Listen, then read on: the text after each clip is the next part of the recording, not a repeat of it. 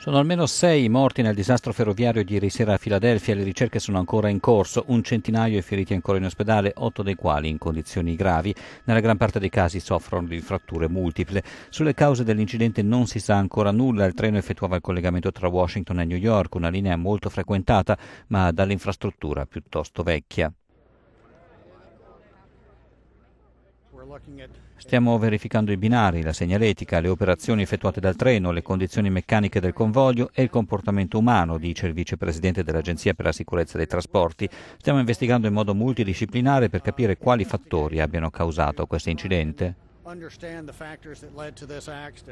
Sei vagoni e il locomotore sono usciti dai binari, una delle carrozze è completamente piegata a L, un'altra è un ammasso di lamiere tra le quali è estremamente difficile cercare i corpi. I collegamenti che passano per Filadelfia sono stati sospesi per tutta la giornata.